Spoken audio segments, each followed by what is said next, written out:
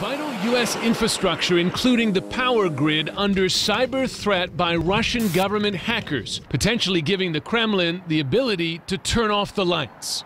The Department of Homeland Security and the FBI detailing a two year multi stage effort by Moscow targeting the U.S. energy grid.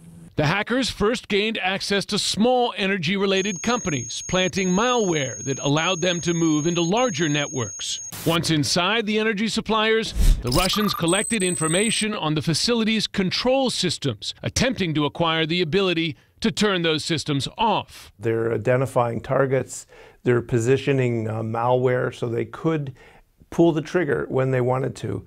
But they're also sending the United States a message um, we are in position to cause harm if we wanted to do it. And so you, the U.S., should be a little more careful. The Russians targeted other crucial sectors as well, including nuclear power, water, aviation, and manufacturing. Experts see the intrusion as a possible precursor to an unprecedented Russian cyber attack that could, in the event of war, devastate the U.S.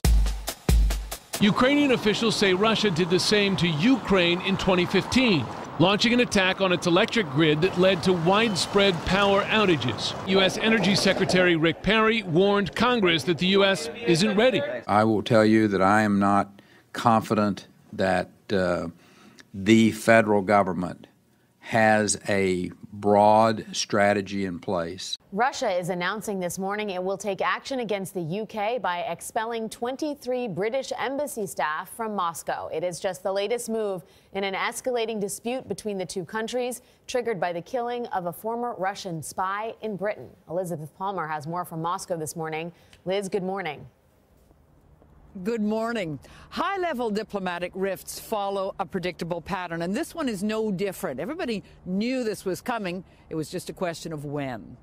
Um, I just had a meeting um, in the Russian Late this morning, Britain's ambassador to Russia, Laurie Bristow, was summoned to the foreign ministry. Russia today has informed me of the steps that Russia will be taking. Starting with the expulsion of 23 British diplomatic personnel from Russia.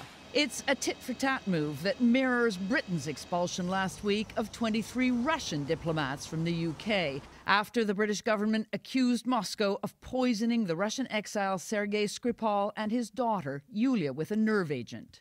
This crisis has arisen um, as a result of um, an appalling attack in the United Kingdom, the attempted murder of two people using a chemical weapon developed in Russia.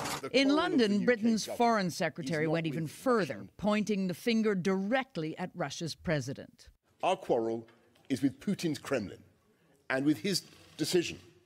And we think it overwhelmingly likely that it was his decision to direct the use of a nerve agent on the streets of, of the UK. Skripal's poisoning has forced the police to re examine the cases of several Russians who died or fell ill on UK soil amid criticism that Britain's government at the time shut down the original investigations for political reasons.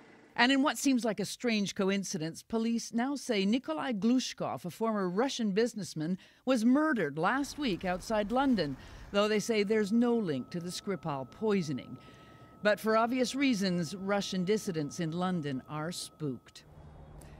It does look as if relations between Russia and the UK and the UK's allies, including the US, are going to get even worse. So this is a bad time for the thinning of the diplomatic ranks, just as they may most be needed to defuse the situation. Anthony? Elizabeth Palmer in Moscow. Thanks, Liz. I would say right now, um, they do not um, think that much will happen to them. They don't fear us. They don't fear us.